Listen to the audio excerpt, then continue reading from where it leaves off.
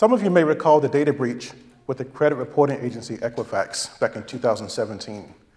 Anybody here receive a letter that your name, address, social security number, and birth date may have been compromised? Think about that for a few minutes because that's the same data that you use to identify yourself to your banks, your credit card company, or to your utility company, and now an unknown adversary has the same access. Just as a reminder, the Equifax breach resulted in the compromise of over 143 million accounts. That's close to half of the US population. What you may not know is that that breach could have been avoided had they applied a security update to a known weakness in their internet accessible systems. Closer to home, in December 2018, Rutland Regional Medical Center experienced a breach when an unknown adversary gained access to nine employee email accounts, which contained over 72,000 medical records.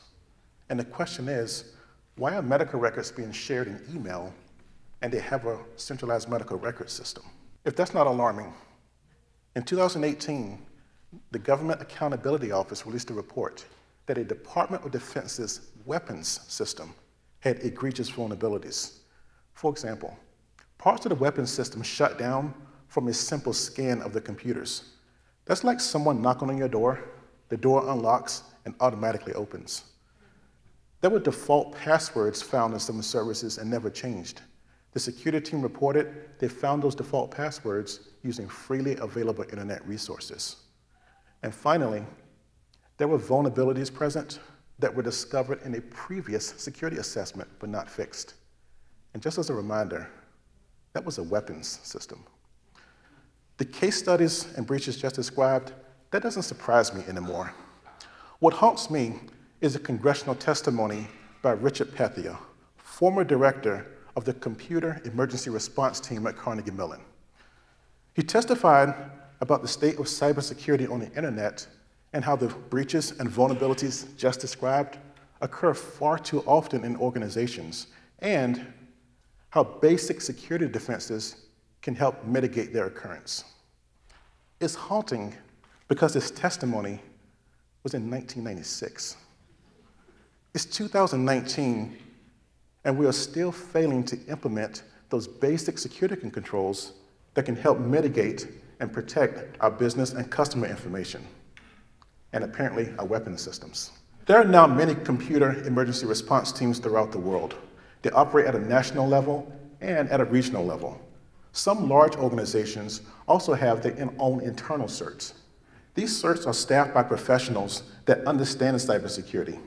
They know how to identify vulnerabilities and they know how to fix them. They also provide organizations with guidance on how to recover from a cyber attack. And these CERTs also provide early warnings on vulnerabilities and how to mitigate their impact. The US CERT, which is part of the Department of Homeland Security, alerted Equifax to the vulnerability that led to that breach two months before the breach occurred. These CERTs are providing the same guidance over and over to little effect, and a cyber breach can be costly. The Rutland medical breach costs are unknown, but we do know of one incidental cost. That is sending a letter to over 72,000 people at a cost of close to over $36,000 just for postage. So it's clear we need more people to help work these issues out. Unfortunately, we have far more jobs available than we do people to fill those positions. Now, I'm working to fill that labor gap. I teach future cybersecurity professionals at the college level. And they're going to get those big businesses worked out and hopefully our weapon systems. However, the organizations that are most impacted are the ones that we use every single day that underpin our local communities and make up over 96% of the businesses that exist in this country our small businesses, our sole proprietors, our mom and pop shops. These organizations often don't understand, don't know how to, or can't afford to implement those basic security controls, which makes them incredibly vulnerable. And studies show over 60% of small businesses shut down as a result of a cyber attack. Folks, there's hope. I'm excited to tell you about a group of students I don't get paid to teach. I'm a mentor for the U.S. Air Force Association's Cyber Patriots, which trains middle and high school students how to implement those basic security controls. The introductory modules, the basic training modules, are teaching middle school kids how to implement those same controls Richard Pethia discussed in 1996. So what I'm proposing is that we crowdsource middle, high school, and college students to become the new era of cyber patriots that act as our local community computer emergency response teams, or CERTs. Organizations will pay a small fee, say $200 a year, to help finance a CERT that is staffed and managed by students at a local school to help organizations fulfill their security needs on a continuous basis. Now, you're probably concerned about middle and high school students overseeing the security in your office. but that's probably because we don't understand cybersecurity. But think about this. Teenagers prepare and cook our food at restaurants. Teenagers are our babysitters. A 16 year old can be a lifeguard or an emergency medical responder. And teenagers are camp counselors who we never meet, but we implicitly trust them in those positions with our kids. but we understand those jobs and those roles, not so much cybersecurity and a cybersecurity defender. Yeah. And let's face it, folks, your kids know about, more about your computers than you do. so let's utilize this untapped resource. We have empirical studies that demonstrate students engaged in community-based learning can be ethical, mature, professional, creative, and work within small budgets to no budgets. South Burlington High School's Big Picture program is an exemplar of this type of teaching and learning model and graduate students that possess those qualities. So how does that relate to being a CERT?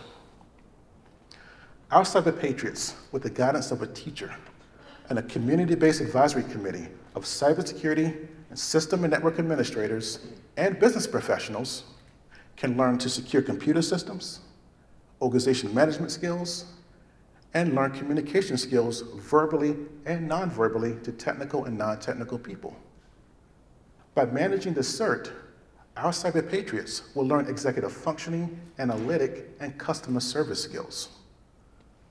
Our cyber patriots can engage in higher order learning by transferring those skills to a much needed community service.